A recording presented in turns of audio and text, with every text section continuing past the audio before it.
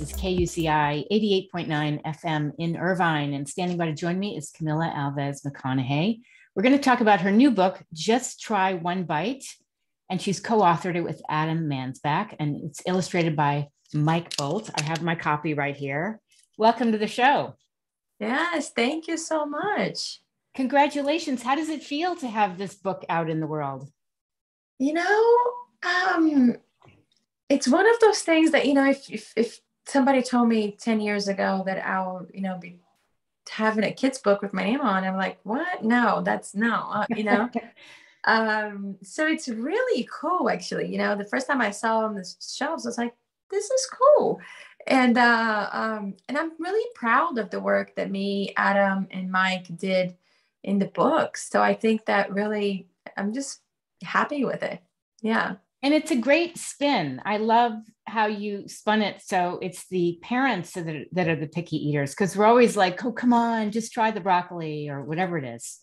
Yes, you know, look, we wanted to this to be funny. We wanted to be fun. We wanted to, you know, eh, not be preachy about, you know, what to do. Yeah. So giving doing a reverse roles role where the kids had all the power, the kids know best, the kids are getting after their parents um, you know, to just try one bite. Um, it's just um, it's just funny and it's fun and it gave that freedom on writing as well to say, you know, all kinds of things that you know wouldn't come up of a, an adult's mouth or an animal's mouth, right?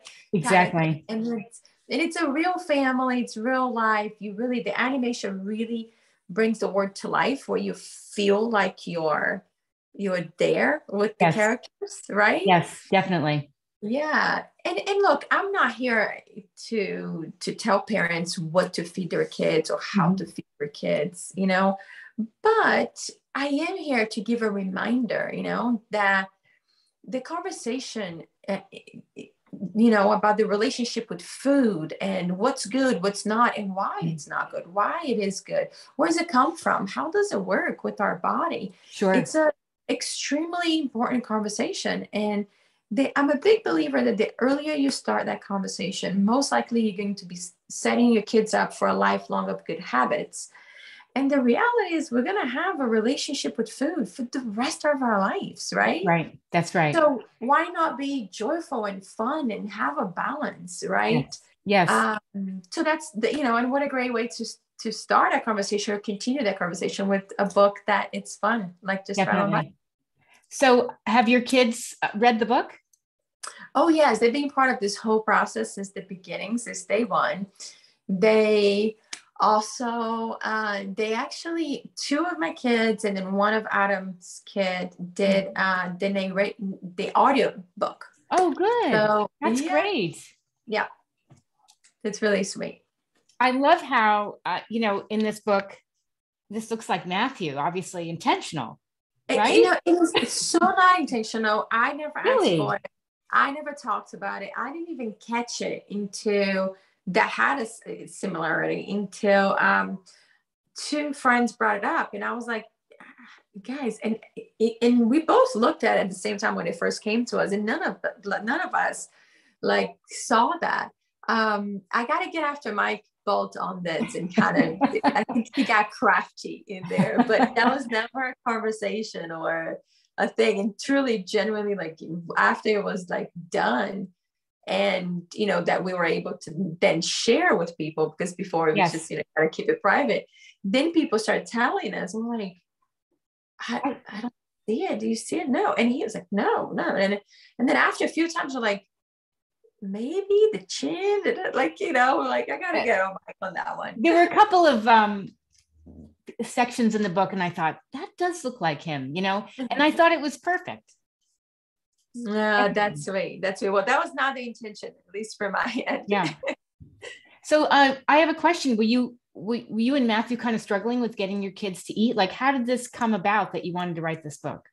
look the, the mission that i you know that i shared with you earlier on was really you know the the inspiration of the book but i mm-hmm. think that every parent at some point goes through a you know some kind of a situation around food with yes. their kids obviously you know some parents get really lucky that it's easier and others get harder for yes. whatever you know reason but um, I think that every parent had, you know, majority, I shouldn't say every, but majority yes. of parents have situations where they have to work it out. And then if you have multiple kids, you know that kids will go through different stages at different times. And, mm-hmm. you know, right when I feel like, okay, I did it, it's done, they got it.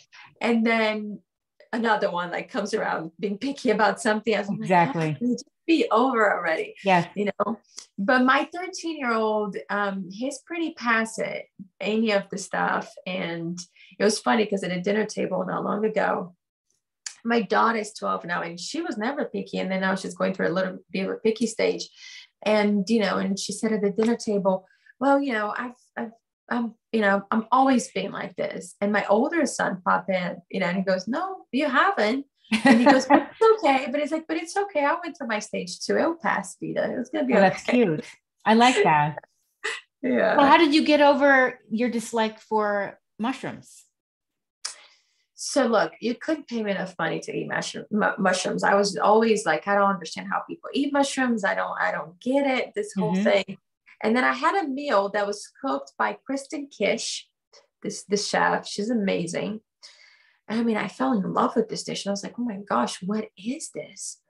And I asked her, she was like, oh, is this, you know, vegetarian bolognese? And I'm like, well, yeah, but what's in it? She goes, oh, it's all mushrooms. And I'm like, what? Mushrooms. And I'm like, yeah, like, you know, she's like, I'm like, I don't like mushrooms. She goes, well, you just did. You just ate the whole thing. So she actually shared the recipe with us on Women of Today uh, website. So the recipe is there for that. And ever since that experience, I now like I'm a little, I'm more open, open. to, yeah. to eating mushrooms and, and trying it out. And uh, I've kind of, you know, had that light bulb moment of like, oh, it's not. And I use it with my daughter because she was like, I can't stand spinach. I don't want spinach, whatever. And mm-hmm. I've tried different ways. And then she finally had a way that she liked it. And I was yeah. like, oh, you see, baby, it was just like me with mushrooms. It's not yes. that you don't like spinach. It's just the fact that you hadn't had spinach cooked the way that you love. Yes. Now you do. Now, like, let's keep working on whatever the next thing is, right? Definitely. I remember when um, my kids were little, I they wanted to have like a little dinner party with their friends. So I said, "Well, I'll make homemade pesto," and I would take spinach, broccoli, and zucchini, and I'd puree it and add parmesan and pine nuts. And one girl said, "Oh, I won't eat that stuff," and they said, "It's delicious green sauce." and they all loved it. And, then I told them what was in it, and they couldn't believe it. They were horrified. That sounds really good, actually. It was really, it was really good. It, was you might need to share that recipe with us on Women of Today, please. I would love to.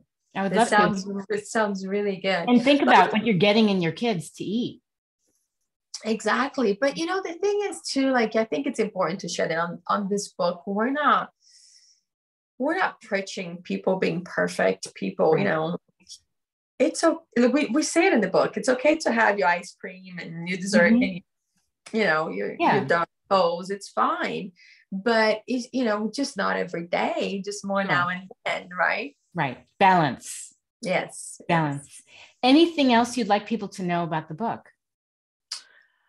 Oh, look, I think that you know, food conversations for parents and kids. A lot of times they're not fun Mm-hmm. I think that this book is very fun and joyful, and it's a different twist than you usually hear about eating and food. Mm-hmm.